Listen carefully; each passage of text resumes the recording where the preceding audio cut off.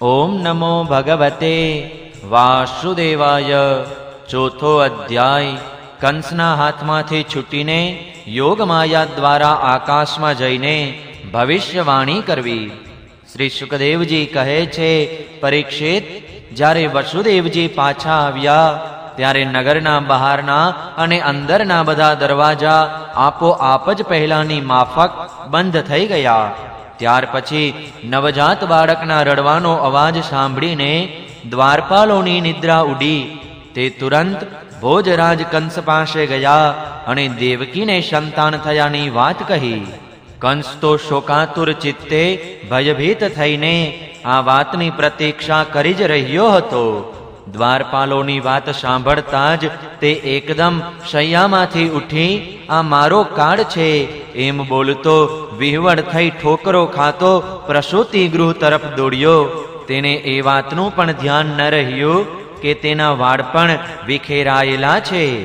દયાપાત્ર સતી દેવકીએ ખૂબ જ દુઃખ અને કરુણા સાથે પોતાના ભાઈને કહ્યું, હે મારા હિતૈષી ભાઈ આ કન્યા તો તમારી પુત્ર વધુ જેવી છે, સ્ત્રી જાતિની છે.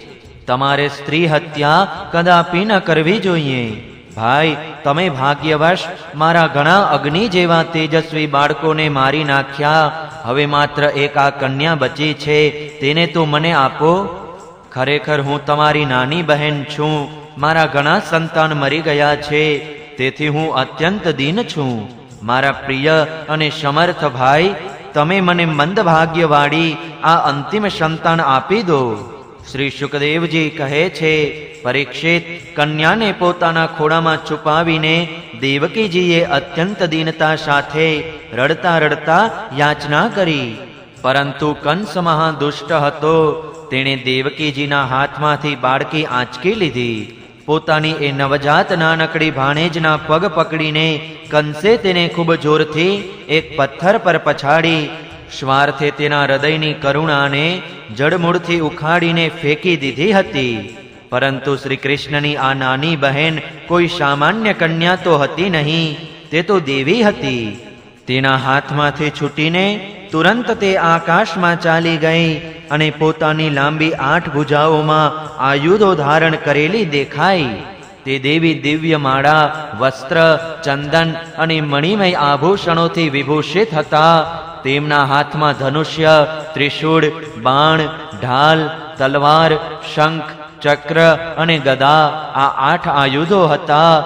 સિદ્ધો, ચારણો, ગંધર્વો, અપ્સરાઓ, કિન્નરો અને નાગગણો અનેક પ્રકારના ઉપહારો સમર્પિત કરીને તેમની સ્તુતિ કરી રહ્યા હતા. તે સમયે દેવીએ કંસને કહ્યું, અરે મૂર્ખ, મને મારવાથી તને શું મળશે? તારા પૂર્વજન્મનો શત્રુ તને મારવા માટે કોઈ સ્થાન પર પેદા થઈ ચૂક્યો છે. હવે તું વ્યર્થ નિર્દોષ બાળકોની હત્યા ન કર. કંસને આ પ્રમાણે કહીને ભગવતી યોગમાયા ત્યાંથી અંતર્ધાન થઈ ગયા. અને પૃથ્વી પર અનેક સ્થાનો પર જુદા જુદા નામે પ્રસિદ્ધ થયા.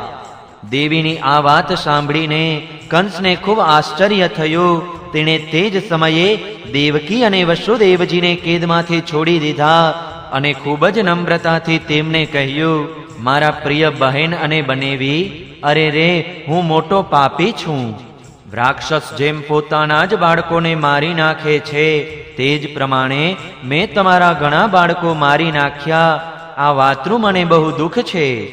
હું એટલો દુષ્ટ છું કે કરુણા તો મારામાં લેશ માત્ર નથી. મેં મારા ભાઈ બંધુઓ અને સુહૃદ મિત્રોનો પણ ત્યાગ કરી દીધો. ખબર નથી હવે મારે ક્યાં નરકમાં જવું પડશે. ખરેખર હું તો બ્રહ્મા હત્યારા જેવો જીવતો હોવા છતાં મરેલો જ છું. માત્ર મનુષ્યો જ જૂઠું નથી બોલતા, વિધાતા પણ જૂઠું બોલે છે. તેમના પર વિશ્વાસ કરીને મેં મારી બહેનના બાળકોને મારી નાખ્યા. અહો, હું કેટલો પાપી છું. તમે બંને મહાત્મા છો, પોતાના પુત્રોનો શોક ન કરો. તમને તો પોતાના કર્મનું ફળ જ મળ્યું છે. બધા પ્રાણીઓ પ્રારબ્ધને આધીન છે, તેથી તેઓ કાયમ એક સાથે રહી શકતા નથી. જેમ માટીથી વાસણો બને છે અને ફૂટી જાય છે, પરંતુ માટીમાં કોઈ ફેરફાર થતો નથી. તેમજ શરીરનું તો જન્મવું મરવું થતું જ રહે છે, પરંતુ આત્મા ઉપર તેનો કોઈ પ્રભાવ પડતો નથી. જે લોકો આ તત્વને નથી જાણતા તે આ અનાત્મા શરીરને જ આત્મા માની બેસે છે. આ જ વિપરીત બુદ્ધિ અથવા અજ્ઞાન છે. આના જ કારણે જન્મ અને મૃત્યુ થાય છે અને જ્યાં સુધી આ અજ્ઞાન રહે છે, ત્યાં સુધી સુખ દુઃખરૂપ સંસારથી છુટકારો મળતો નથી. મારી પ્રિય બહેન, જો કે મેં તમારા પુત્રોને મારી નાખ્યા છે, છતાં તમે તેમના માટે શોક ન કરો. કેમ કે બધા પ્રાણીઓને વિવશ થઈને પોતાના કર્મોના ફળ ભોગવવા પડે છે. પોતાના સ્વરૂપને ન જાણવાને લીધે જીવ જ્યાં સુધી પોતાને હું મરી જઈશ અથવા મરાઈ રહ્યો છું એમ માને છે, ત્યાં સુધી શરીરના અભિમાનવાળો તે અજ્ઞાની હોય, બાધ્ય અને બાધક ભાવને પામે છે. અર્થાત તે બીજાને દુઃખ આપે છે અને સ્વયં દુઃખ ભોગવે છે. મારી આ દુષ્ટતા તમે બંને ક્ષમા કરો, કારણ કે તમે બંને સંત સ્વભાવના અને દિનવત્સલ છો.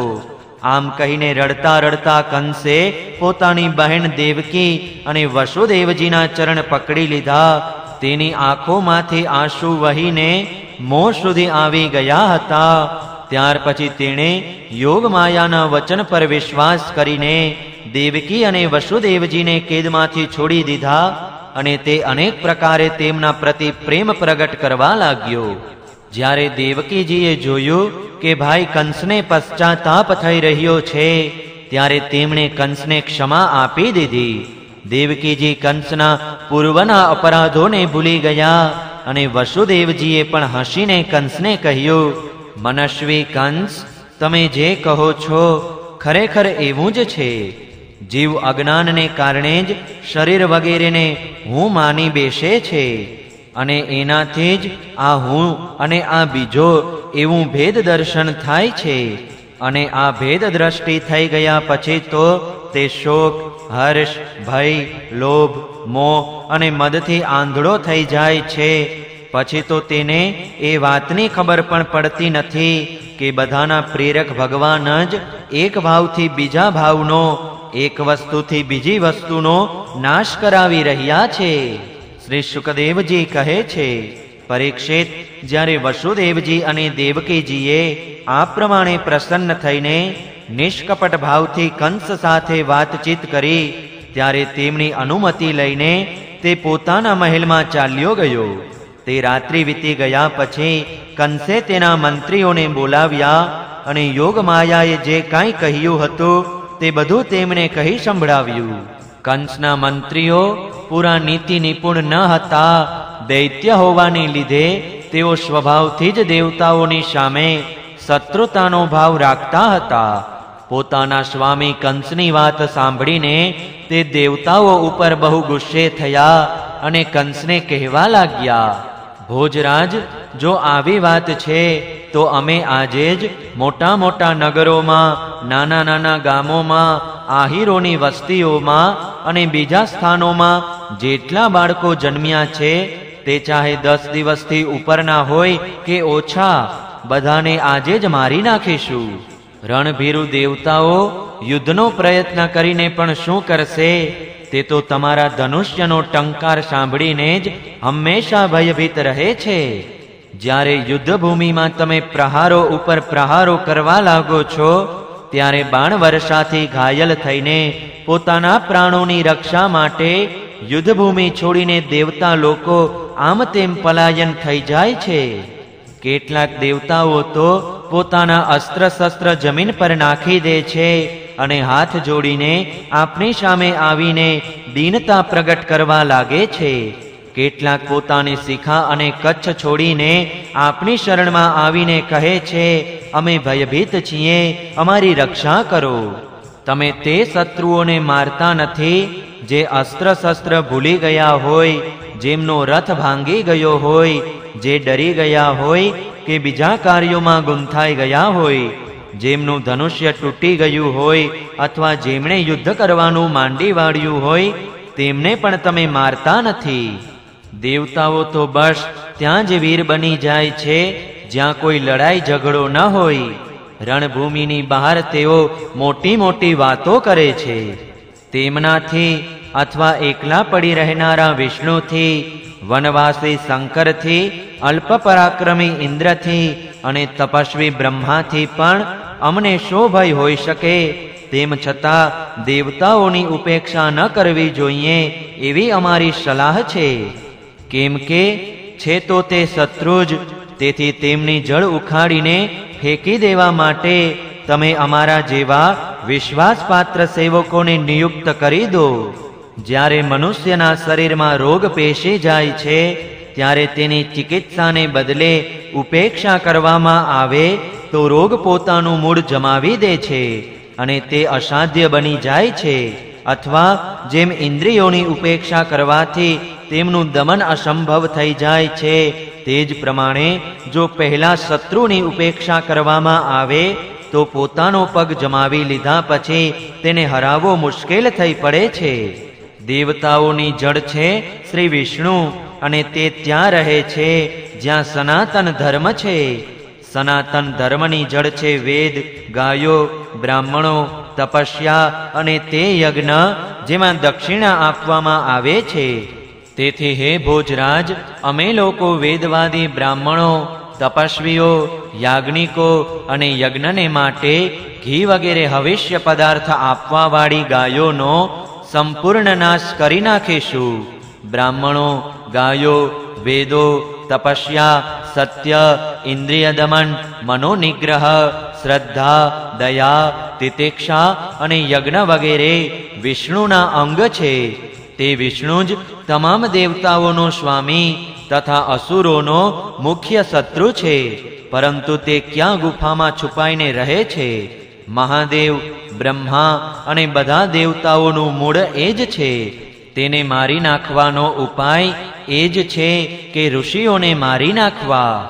શ્રી શુકદેવજી કહે છે, પરીક્ષિત, એક તો કંસની બુદ્ધિ સ્વયં બગડેલી હતી. પાછા તેને મંત્રી પણ એવા મળ્યા હતા જે તેનાથી વધીને દુષ્ટ હતા. આ પ્રમાણે તેમની સાથે ચર્ચા કરીને કાળના ફંદામાં ફસાયેલા કંસે બ્રાહ્મણોને મારી નાખવા એ જ યોગ્ય સમજ્યું. તેણે હિંસા પ્રેમી રાક્ષસોને સંત પુરુષોની હિંસા કરવાનો આદેશ આપી દીધો. તેઓ ઈચ્છાનુસાર રૂપ ધારણ કરી શકતા હતા. જ્યારે તેઓ આમ તેમ ચાલ્યા ગયા, ત્યારે કંસે પોતાના મહેલમાં પ્રવેશ કર્યો. તે અસુરો રજોગુણી પ્રકૃતિના હતા. તેમના મન તમોગુણને લીધે મૂઢ બન્યા હતા. તેમનામાં ઉચિત અનુચિતનો વિવેક રહ્યો ન હતો. તેમના માથા ઉપર મૃત્યુ નાચી રહ્યું હતું. એ જ કારણે તેમણે સંતોનો દ્વેષ કર્યો. પરીક્ષિત જે લોકો મહાન સંત પુરુષોનો અનાદાર કરે છે, તેમનું તે કુકર્મ, તેમનું આયુષ્ય, લક્ષ્મી, કીર્તિ, ધર્મ, લોક પરલોક, વિષય ભોગ અને તમામ કલ્યાણના સાધનોને નષ્ટ કરી દે છે. दशमा स्कन्ध पूर्वार्ध अन्तर्गत चौथो अध्याय समाप्त। जय श्रीकृष्ण।